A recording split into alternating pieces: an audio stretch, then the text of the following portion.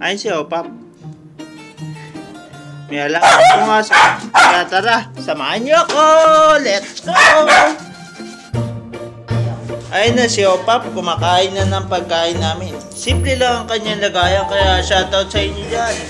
Bigyan niyo siya kahit lalagyan na ng kainan niya.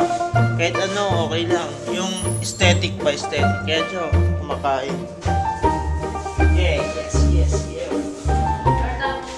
Ayun na po, ayan. Kumakain siya konting buto.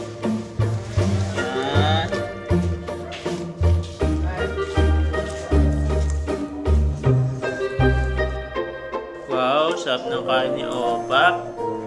Yan pala si Opap, pangalan niya Opap. Ayun yung pinangalan namin sa kanya.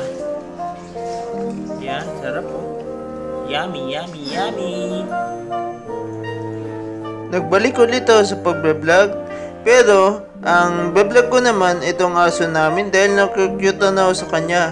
Kaya, tinay ko siya i-vlog para mapansin nyo sa sobrang cute at ang kapal ng buhok niyan dati. Kaso ngayon, ginupit ni mama.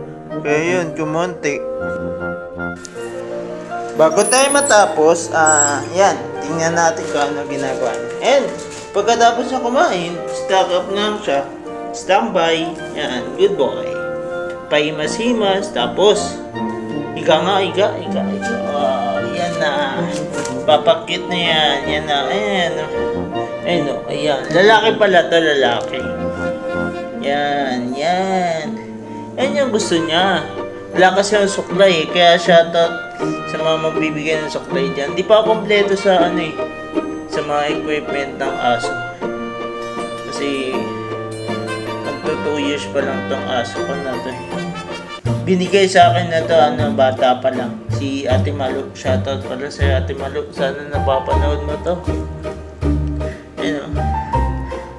Mga, mga, mga, yan mga, mga, yan. Alagang alaga ko na to. Kabisadong kabisado ko na. Kaya tara. Kaya hanggang dito na lang aming video ni Opap. Opap, tingin dun. Hanggang dito na lang ang video namin. Ah, follow at subscribe nyo kami ha. Ha? Sa, sa next video ulit. Bye-bye! Bye-bye nga, bye-bye! Bye-bye, bye-bye!